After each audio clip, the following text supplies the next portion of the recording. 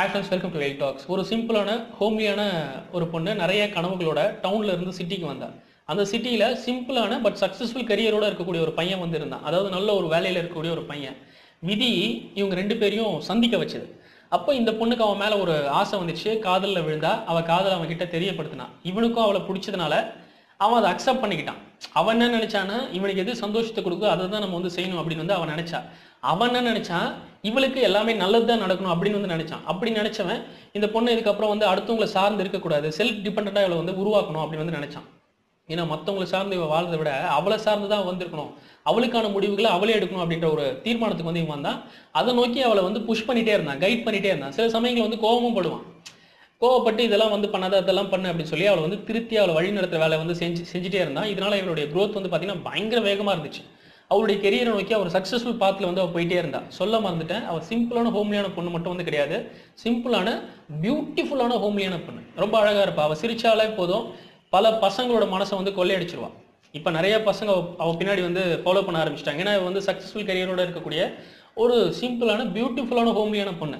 So திறமை படைச்சவ வேற. அதனால நிறைய பேர் அவளை வந்து ஃபாலோ பண்ண ஆரம்பிச்சாங்க. இப்போ இவ வந்து செல்ஃப் டிபெண்ட் ஆகிட்டனால இது யோசிக்க ஆரம்பிச்சா இவன் புஷ் பண்றது நேரத்தில் இன்னும் நீ அது பண்ண அது பண்ணுன்னு சொல்லி நிறைய கைட் பண்ணிட்டே இருந்தான். இப்போ இவளுக்கு வந்து சிந்திக்க ஆரம்பிச்சு அவனை வந்து கேள்வி கேட்டான்.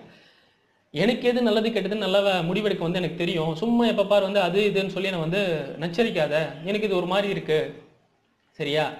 நான் இப்படி இருக்கிறதுக்கே பார்த்து நிறைய பேர் என்னை வந்து நேசிக்க காத்துட்டு இருக்காங்க. நான் இவ்வளோ பண்ணியும் நீ தான் என்னை நேசிக்காம அது பண்ணல இது பண்ணல அப்படின்னு சொல்லி குறை சொல்லிட்டே இருக்க அப்படின்னா அப்படி பேச ஆரம்பிச்சா. நான் தயவு செஞ்சு சொல்றேன் நீ எனக்கு தேவை கூட இல்லை. என்னை விட்டுரு அப்படின்னு சொல்லி அந்த பொண்ணு அவன் கிட்ட சொன்ன உடனே அவன் கலங்க ஆரம்பிச்சிட்டான். அவன் நினைச்சிட்டு இருந்தான் அந்த உலகத்திலே இவளை புரிஞ்சுக்கிட்ட ஆள் நம்ம தான் அவளை புரிஞ்சுக்கனால தான் இவ்வளோ விஷயம் நம்ம வந்து செய்கிறோம் அப்படின்னு வந்து நினைச்சான் இவன். இப்போ தான் வந்து புரிஞ்சுக்கிட்டான். இவளை நம்ம நம்ம புரிஞ்சுக்கினது வந்து தப்பு. நம்ம பண்ணுறத இவ இப்படி புரிஞ்சுப்பான்றதை நம்ம புரிஞ்சிக்கவே இல்லை அப்படின்னு சொல்லி நினச்சி கலங்கினான். அப்போ அவகிட்ட சில வார்த்தைகள் வந்து சொன்னான். நான் வந்து லைஃப்பில் எதுவும் ஈஸியாக வந்து எனக்கு கிடச்சிரல நான் கஷ்டப்பட்டு தான் வந்து மேலே வந்தேன். நான் கஷ்டப்பட்டு சில விஷயங்களை பார்த்துதான் அதெல்லாம் நீ வந்து அனுபவிக்க கூடாது உனக்கு இந்த இடத்துலலாம் மிஸ்டேக் நடக்கும்னு அப்பயே வந்து வழி நடத்தி உன்னை ஒழுங்கான வழியில் கொண்டு போகணும் தான் இதெல்லாம் வந்து நான் செஞ்சேன். மற்றபடி உன்னை கஷ்டப்படுத்தணும் காயப்படுத்தணும் அப்படின்னு வந்து என்றைக்குமே வந்து நான் நினச்சதில்ல. உனக்கு எப் எது நடந்தாலும் சரி அது நல்லதாக தான் நடக்கணும்னு நினச்சேன். உன்னை நான் செல்ஃப் டிபெண்ட் ஆக்கணும்னு வந்து ஆசைப்பட்டேன். ஆனால் இப்போ தான் எனக்கு வந்து புரியுது நான் வந்து உன்னை புரிஞ்சிக்கல போல உன்னை கஷ்டப்படுத்துறேன் போல அப்படின்னு சொல்லி அவளை விட்டு விலக ஆரம்பித்தான் பல வருஷங்கள் ஆனதுக்கப்புறம் அதுக்கப்புறம் தான் இவன் வந்து புரிஞ்சுக்கிட்டா. இவனை நம்ம வந்து மிஸ் பண்ணிட்டோம் அப்படின்னு சொல்லி. ஆனால் அது டூ லேட் லைஃப் லாங் அவன் அந்த ரிக்ரெட்டோடய தான் வாழ வேண்டியதாக இருந்தே தவிர அந்த காதல அவ இழந்துட்டு ரிக்ரெட்டோடு தான் வந்து வாழ்ந்தா அவன் கூட சேர்ந்து வாழணும் ஃப்ரெண்ட்ஸ் நிறைய சமயங்களில் நம்ம லைஃப்பில் வந்து பார்த்தீங்கன்னா நம்மள நிறைய பேர் வந்து அது பண்ணு இது பண்ணு சொல்லி புஷ் பண்ணிகிட்டே இருப்பாங்க. நீ அது பண்ணு இது பண்ணு நீ என்ன இது கூட வந்து பண்ணல அப்படின்னு வந்து கேட்டால் அவங்களுக்கு நம்ம மேலே ஒரு அக்கறை இருக்குன்றதுனால தான் இது வந்து பண்ணுறாங்க என்ன பிரதர் சிலர் பொறாமையில் கூட வந்து பண்ணுறாங்க நம்மளை தப்பாக வழி நடத்துகிறாங்க நம்ம லைஃப்பில் நம்ம பார்க்கலாம் கண் கூட பார்க்கலாம். நம்ம முன்ன இருந்த பொழப்புக்கும் இப்போ நம்ம இருக்கிற ஒரு லைஃப்க்கும் வந்து பார்த்தா அப்பவே நமக்கு வந்து தெரியும். யாரோ ஒருத்தர் வந்து புஷ் பண்ணி நீ இது தெரிஞ்சுக்கலாம் இன்னும் கத்துக்கோ. உன் கெரியரில் இது growth போ. அதுன்னு சொல்லி யாரோ புஷ் பண்றாங்க அப்படின்னு சொல்லி நீங்க வந்து தெரிஞ்சுக்கலாம். அவங்க உண்மையா உங்க மேல அக்கறை இருக்கிறவங்க. இல்லைன்னா இதெல்லாம் வந்து பண்ணணும்னு அவசியம் கிடையாது. உங்ககிட்ட இருக்க அந்த உண்மையான ஸ்ட்ரென்த் உண்மையான யார் நீங்கன்றதை வெளியில கொண்டு வரணும்னு சொல்லி அவங்க வந்து முயற்சிக்கிறாங்க. அதை நீங்க நல்லா உணருங்க. அது மட்டும் இல்லாமல் நீங்க தேவையில்லாம உங்களுக்கு திடீர்னு ஒரு சக்சஸ் வந்துச்சுன்னு சொல்லி அந்த ஈகோவை தலைக்குள்ள தூக்கி வச்சிட்டீங்கன்னா அவங்க காமிக்க அந்த அன்பு உங்க மனசுக்குள்ள ஏறாது. அதனாலேயே நிறைய தருணங்களை நிறைய பேர் நம்ம வந்து இழந்திருப்போம். நம்ம நல்லது பண்ணிருக்காங்களா கெட்டது பண்றாங்களா? ஏன் உங்களை வந்து வெறுத்து உங்களை இழிவா பேசுனவங்க கூட இருக்கட்டும் உங்களை அசிங்கப்படுத்தணும் அந்த அவமானப்படுத்தினவங்க கூட சரி உங்க லைஃப்ல உங்களை வளர்த்துறதுக்கு தான் ஏதோ வந்து பண்ணியிருக்காங்க கொஞ்சம் யோசிச்சு பாருங்க. இந்த தருணத்துல அவங்கள பத்தி கொஞ்சம் யோசிச்சு பாருங்க. நம்ம எப்படி இருந்தோம்? இந்த மாதிரி ஒரு சுச்சுவேஷன் இப்படி ஒரு நபர் நம்ம வந்து சந்திக்கலாம் இப்படி இந்த லைஃப்ல இந்த மாதிரி ஒரு வாழ்க்கை இந்த டைம்ல இந்த மாதிரி வாழ்ந்துருக்குமா? அப்படின்னு கொஞ்சம் யோசிச்சு பாருங்க. இந்த கோவப்பட்டு இந்த ஈகோப்பட்டு இதனால நீங்க எதுவுமே வந்து சம்பாதிச்சிருக்க முடியாது. நிறைய விஷயங்கள் இழந்து தான் போயிருப்பீங்க. ஸோ கோவம் ஈகோவில் வந்து அப்படி இருக்காமல் அதெல்லாம் கொஞ்சம் தூக்கி போட்டு யாராக இருந்தாலும் சரி நம்ம லைஃப்பில் ஒருத்தர் புஷ் பண்ணியிருக்காங்களா அவங்க வந்து நமக்கு நல்லது தான் பண்ணணும்னு சொல்லி பண்ணியிருக்காங்க அப்படின்ற ஒரு எண்ணத்தோடு அவங்க கிட்ட சிரிச்ச முகத்தோடு வந்து பேச பாருங்கள் சரியா? மறக்காமல் அது யாராக இருந்தாலும் சரி அன்போட அவங்க கிட்ட மறுபடியும் வந்து பழக பாருங்க.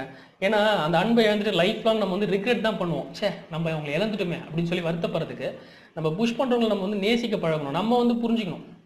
ஸோ இதெல்லாம் இந்த காரணத்தோடு தான் வந்து பண்ணுறாங்க அப்படின்னு சொல்லி அப்படி அவங்க மனசு நோகப்படாம வந்து நோக நோகடிக்கிற மாதிரி வந்து நடந்துக்காம நார்மலாக பேசி கூட வந்து புரிய வச்சுக்கலாம் ஏய் இது எனக்கு தெரியும் ஐயோ.